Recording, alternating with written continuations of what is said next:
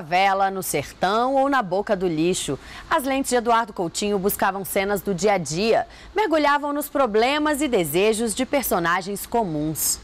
Nascido em São Paulo em maio de 1933, ele é considerado o mais importante documentarista brasileiro. Se interessou por cinema na década de 50, quando ainda estudava direito. Seguiu para a França, onde estudou direção e montagem no IDEC. De volta ao Brasil, integrou-se ao Centro Popular de Cultura da União Nacional dos Estudantes, a UNE. Nessa época, trabalhou no campo da ficção, em parceria com grandes nomes, como Leon Risman, Eduardo Escorel, Bruno Barreto e Zelito Viana.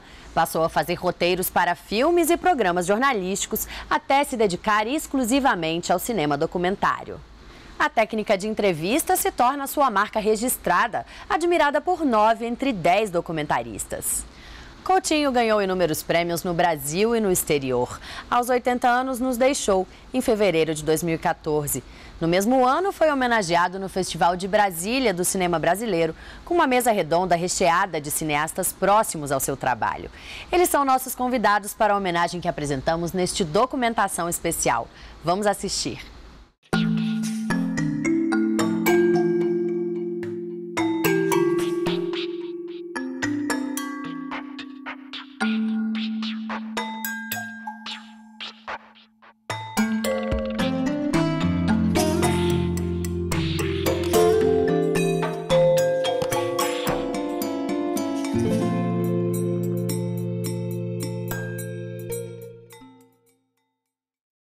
Eduardo Coutinho era um grande amigo meu. Bom, a minha história com o Eduardo Coutinho, eu acho que eu tive muita sorte, porque a gente trabalhou juntos em vários filmes e projetos que não viraram filmes. E eu fiz um filme sobre ele. Na verdade, minha história com ele começou quando eu vi o Cabra Marcado para Morrer. Pense um pouco, sei lá, nas grandes correntezas marítimas e nas ondas.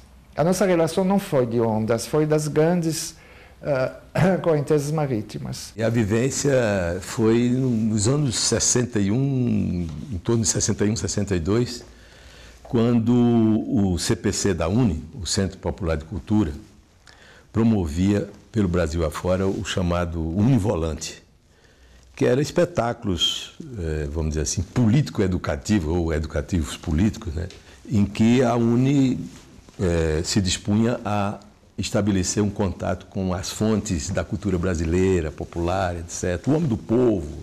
O primeiro filme que ele, que ele, ele efetivamente fez fui eu que produzi, que se chamava O Homem que Comprou o Mundo, um filme de ficção, que nós fizemos o roteiro juntos e tal, e ele que, que, que, que, que dirigiu. O Gustavo Dal dizia que era uma chanchada filmada como o Padre e a Moça. que era, um filme, era, um filme, era uma chanchada deslavada, mas só que filmada com elegância. Coutinho tem uma formação francesa. Ele fez o IDEC.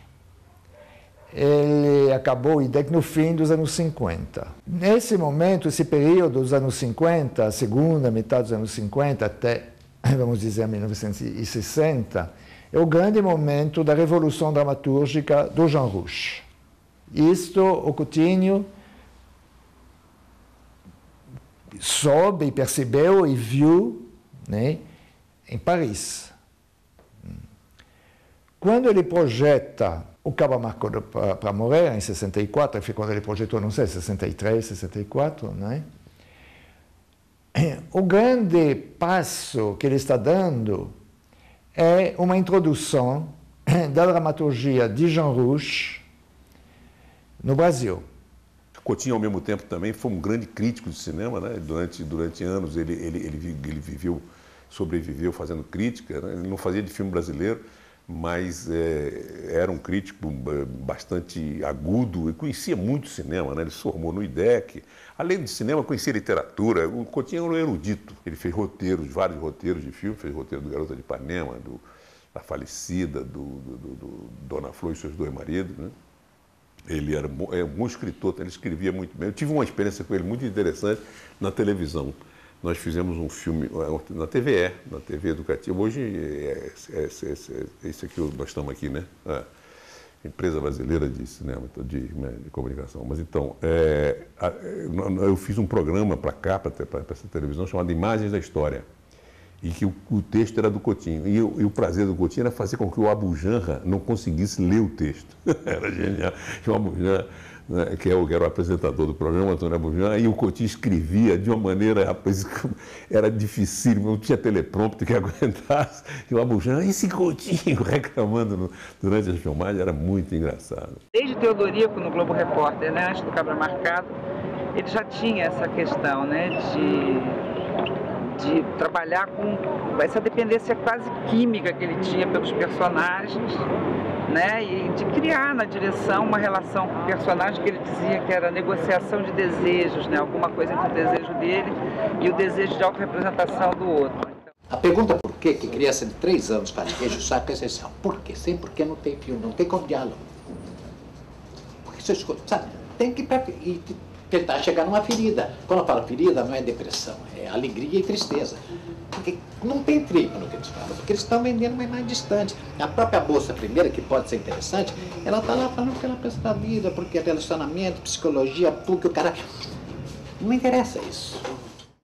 Eu, rapaz, eu vou te dizer uma coisa, eu, eu, eu fiquei com muito problema com documentário. Eu, eu sou um documentarista também, né? eu fiz muito documentário na minha vida. Mas eu acho que o documentário tem, uma, uma tem uma, uma, uma coisa dentro dele que é complicada, que é você fingir que, que, que, que, que aquilo é verdade. Né? Porque o cinema é mentira 24 quadros por segundo. Né? O cinema é uma mentira. Tem, tem luz, tem, tem, câmera, tem gente, tem um bocado de gente aqui assistindo, ouvindo. Olha, você pensa que eu estou aqui, né? mas na verdade tem 10 pessoas em volta da sala, não é isso? É, um, é uma mentira. E, e, o que eu estou dizendo aqui também, você, né, vocês podem acreditar ou não.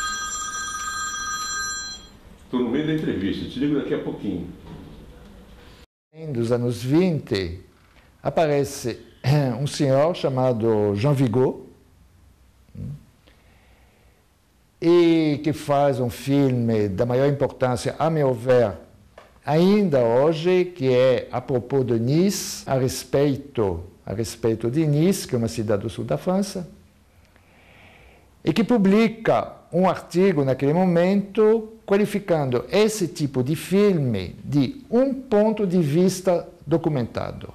Eu, pessoalmente, nunca consegui sair dessa formulação do Jean Vigo. Para mim, o documentário, é, enfim, você tem várias escolas, mas cada vez mais ele se afirma como uma linguagem muito próxima à ficção é, eu acredito que quando você coloca uma câmera na frente de uma pessoa, imediatamente ela se cria um espaço cênico e a pessoa começa a se autorrepresentar. Então, na verdade, essa linha entre documentário e ficção para mim não é muito grande. Eu acho que é tudo mentira. Era muito ranzinho, eu chamava ele de vovó, porque eu tinha, uma avó muito ranzinho, chamada vovó Naninha. E, e ele e era parecer com um Coutinho, reclamava de tudo, estava sempre reclamando de tudo. Ele reclamava muito, mas é, era uma pessoa de um senso de humor extraordinário, né? engraçadíssimo. A gente, eu gostava muito de ir com ele ver filme brasileiro ruim. Né? Nós escolhíamos filmes piores, né? daqueles filmes da Boca de São Paulo, bem, bem ruim mesmo, e íamos ver juntos e nos divertíamos muito. Filme de Nilo Machado. Eu me lembro de, de coisas assim, a gente ria muito, se divertia muito com isso. Olha, o Coutinho era o cara mais ranzinza que eu conheci, um cara super ranzinza porque ele achava que nada ia dar certo, que no Edifício Master ele entrou numa crise porque ele não conseguia achar os personagens, atores que ele precisava. Posso perguntar a idade de vocês dois aí, delicado? Não, pode. Eu tenho 67. Meia... 65. Cinco. Eu sei que pode ser feio, tá, feio. Mas eu muitas vezes fico contente quando eu subo e desço no elevador sozinha. E como é que é viver assim? Como é que é? Eu não... Ai, não é bom. Não é o que o pessoal fala, isso é uma vida fácil, não é. A entrevista era um dom que ele tinha, como, como a Billie Holiday tinha uma voz incrível, um dom que ele recebeu, sabe, sei do céu, da onde e tal, ele ouvia, ele estava sempre focado. E que era incrível, porque as pessoas saíam, eu trabalhei muito com eles e eu percebi as pessoas saíam das entrevistas como se tivesse sido uma sessão de análise.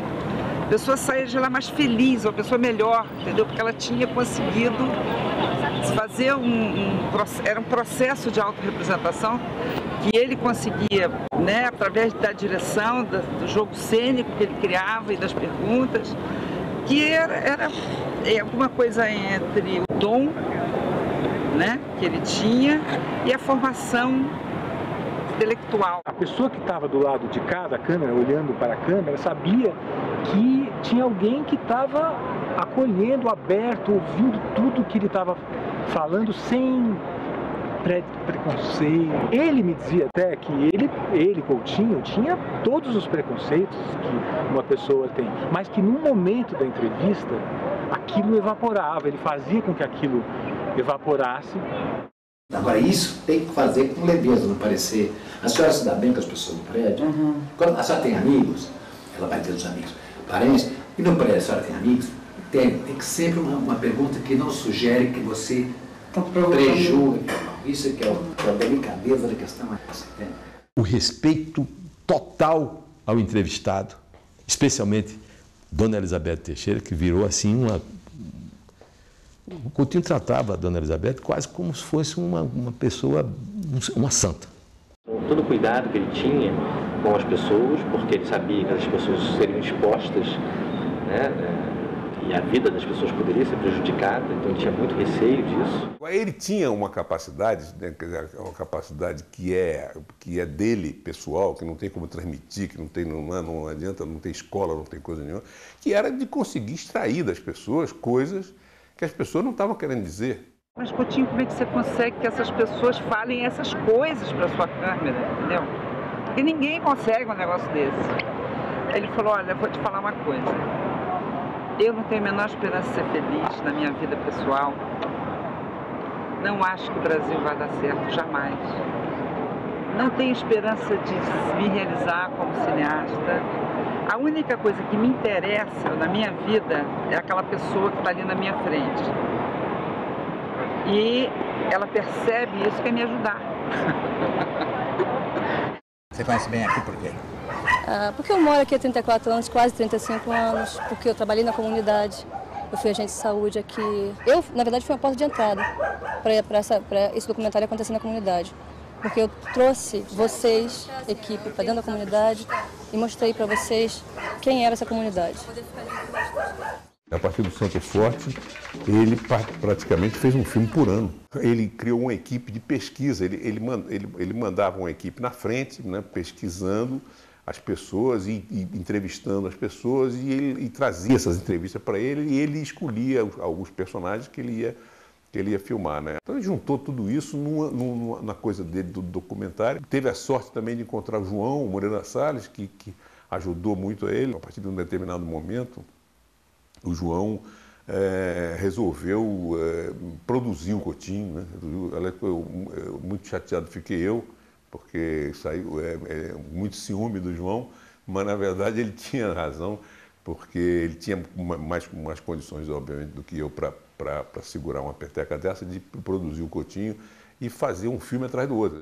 Já no jogo de cena, eu tinha, eu tinha percebido o seguinte, que Coutinho é um cineasta que se desloca, né? sei lá, Edifício Master, Santo Forte, o fim, o princípio, ele vai no lugar onde ele vai encontrar as pessoas que ele vai entrevistar. Né? No jogo de cena já tinha havido uma inversão, é? Ele é o documentarista sedentário, fixo num lugar, e é a pessoa entrevistada que se dirige a ele. Esse era um movimento totalmente novo na obra do, do Coutinho e um movimento que precisava ser uh, pensado. Ele não era vaidoso por um lado, mas tinha uma vaidade por outro, porque ele tinha consciência da importância das obras. aumento do foro, trabalho obrigatório sem pagamento, despejo sem indenização pelas benfeitorias e lavouras, uso da violência pelos grandes proprietários de terra.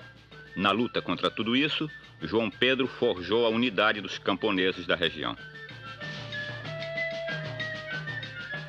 Foi nesse dia que nasceu a ideia de um filme de longa-metragem sobre a vida de João Pedro Teixeira, que se chamaria Cabra Marcado para Morrer. Coutinho é, é, teve esse trauma do, do, Cabra ser preso, né, de, de ser interrompido por causa do golpe militar, e ficou com essa obsessão na cabeça e de fazer o Cabra. O que o Coutinho queria na vida era terminar o Cabra marcado para morrer. O Coutinho propunha um cinema de luta, um cinema de confrontação. Os longas-metragens marcantes uh, do, do, do, período, obviamente, são uh, Deus, o Diabo e Vidas Secas. Eles realmente foram revoluções de linguagem, de narrativa, isso não tem a menor dúvida, nunca se tinha feito no Brasil o que Nelson Pereira dos Santos e Glauber fizeram naquele momento. Deus, o Diabo e Vidas Secas levaram a uma, a uma aceitação conceitual. O questionamento que eu tenho feito é o seguinte, que esses filmes trabalham a um nível razoavelmente alegórico, ambientam os seus enredos no passado, foram filmados num momento em que havia no Nordeste as ligas camponesas. Então, foi muito claro a recusa de perceber o que socialmente estava acontecendo no Nordeste naquele momento. Né? Então, esses filmes que foram considerados como uh, revoluções políticas, etc., não são. O nível de abstração era tanto que só Uh, todo mundo, evidentemente, era contra a miséria uh, reinante no Nordeste, a miséria do, do, dos camponeses, a opressão dos fazendeiros, etc. Quanto a isso, não havia divergência. Agora, no momento da luta, eles tiraram o copo fora, não é? Ah, eu acho que depois.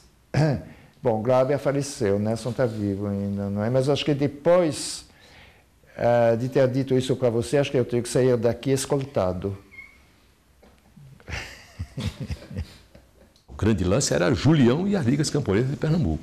Porém, as da Paraíba, as, a chamada Liga Camponesa da Paraíba, tinham uma maior, digamos, uma maior organização. Olha, eu me lembro do Julião ter nos visitado em filmagem, porque aquilo era, dizia respeito diretamente a um trabalho que ele tinha iniciado. Né? E no contato com os camponeses, ele viu que ali tinha uma chaga social, alguma coisa de muito. da, da estupidez, da, da, essa coisa da, avareza do latifundiário, tudo isso. Ele, e ele era um, um, advogado, um profissional de altíssima qualidade. O Julião era brilhante, né?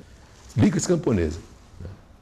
que re, regressa na forma de MST e que ainda não foi dado por resolvida essa, essa grande questão, que é a questão agrária, reforma agrária. Finalmente, uns dois anos depois, consegui recuperar um exemplar do roteiro. Ele tinha sido resgatado por uma advogada das Ligas Camponesas da Paraíba no quartel em que esteve presa em agosto de 64.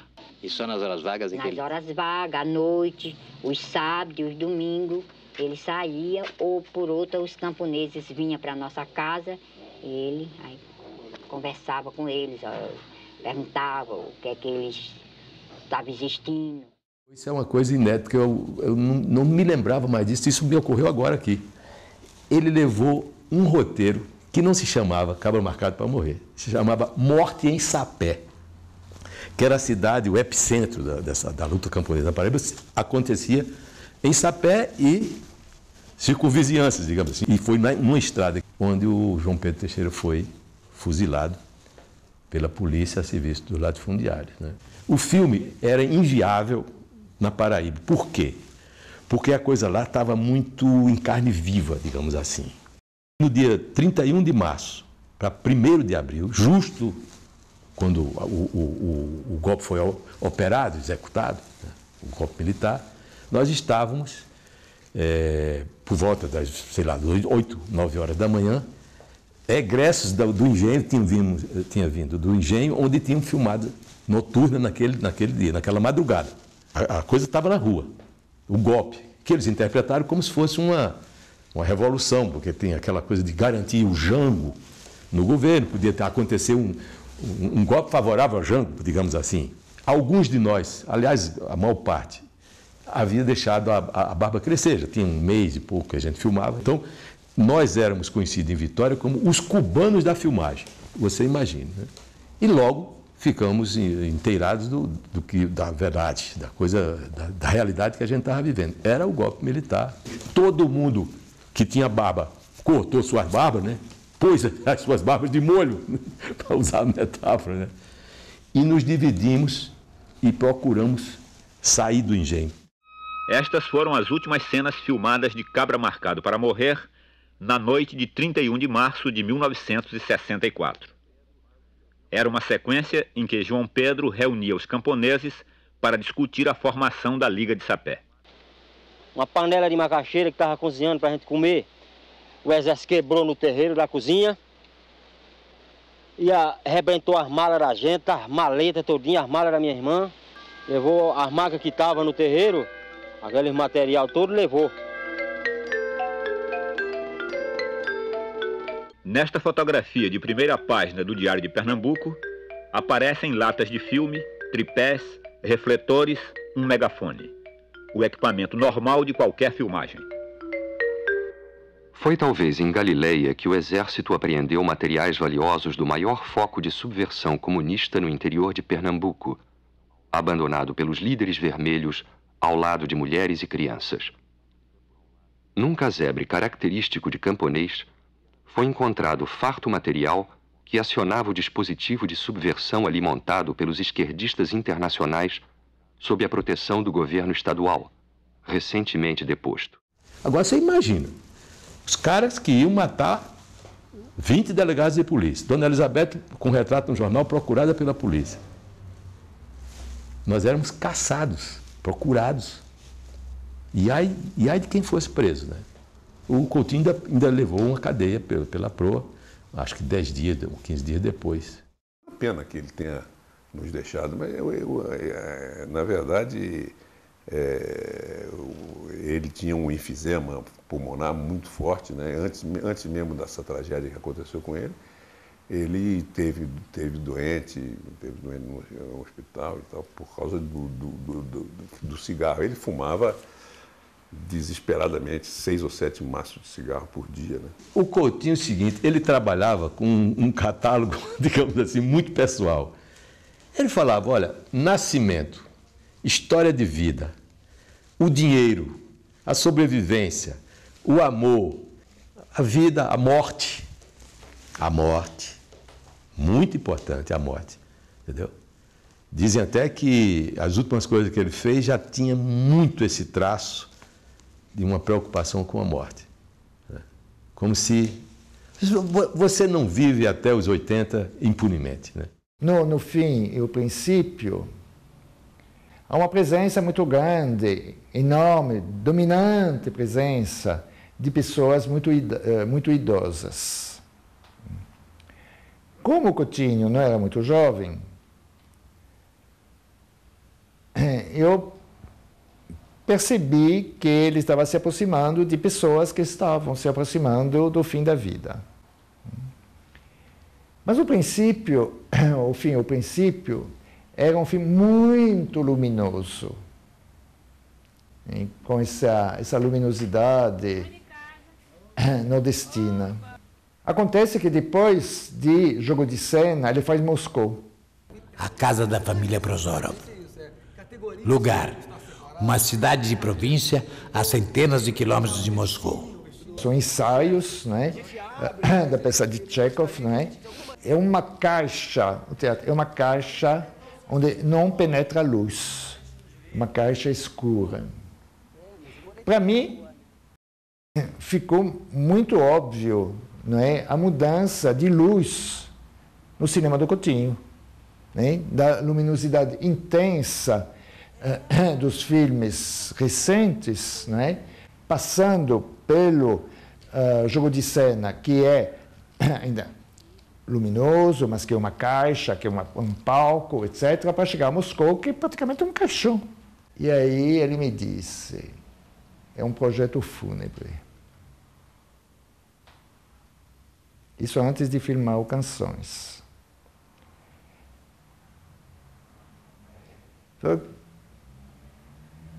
De forma que é muito, muito interessante, porque o Coutinho, além, obviamente, foi a questão da, do assassinato,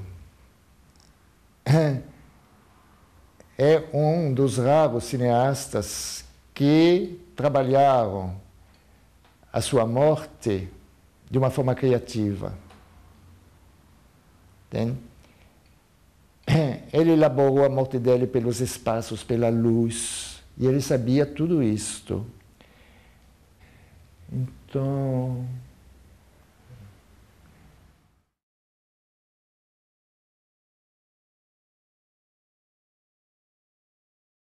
Não, que era muita baderna, muita bagunça. Uma parte da senhora gostava? Uma parte eu gostava de ficar lá para me distrair um pouco, entendeu? Aí os porteiros bebiam, aí depois ficavam bêbados, depois um ia dormir, a portaria ficava jogada. Mas era bom, a senhora está contando com alegria para fazer. Coutinho hoje, Coutinho era um, uma referência mundial do documentário. Dizer, no, no, mundo inteiro, ele era reconhecido como um dos maiores documentaristas do, da história do, do, do, cinema. Porque Jogo de Cena não é um escândalo mundial. Porque ele é falado em português. Quando ele é legendado, ele foi legendado, ele se, ele, uh, se torna um filme lido. Não tem quase mais acesso à imagem. Não é? E, e as pessoas não, não, não, as pessoas que não falam português não alcançam a complexidade. E foi um exemplo. Eu já tinha, já estava enfronhado com o cinema, já tinha feito alguns filmes, mas o Coutinho foi um capítulo à parte na minha, posso dizer, na minha carreira, no meu trabalho. Tanto a figura dele quanto os filmes dele sempre me tocaram muito num sentido libertário. A ética né, que ele utilizava na na, na, na condução do, do, do, trabalho dele, esse, isso sim é uma escola que, que merece ser né, discutida e ser imitada por todo mundo que trabalha nesse setor nosso aqui, audiovisual. Em particular, isso foi, principalmente, foi um norte para mim, né? foi que talvez de uma forma indireta tenha influenciado a procurar a justiça, o caminho do judiciário, no caso, o Ministério Público, forma de fazer justiça, né? ser ético. Eu acho que não, o Coutinho ele criou realmente um espaço né, para se pensar e se fazer documentário. Que ele vem como um pioneiro, né? Mas o cinema dele é um cinema muito, muito difícil de se reproduzir, né? Acho que até nascer outro Coutinho vai ser duro. Eduardo Coutinho merece todas as homenagens que possam ser feitas por quem admira a pessoa que foi e seu trabalho. Como vimos aqui, era um ser humano dotado de uma ética excepcional e com um talento único para alcançar o íntimo das pessoas. Mais do que uma escola, ele é um norte para os realizadores audiovisuais. Eduardo Coutinho deixa saudades. O Documentação fica por aqui. Até o próximo domingo.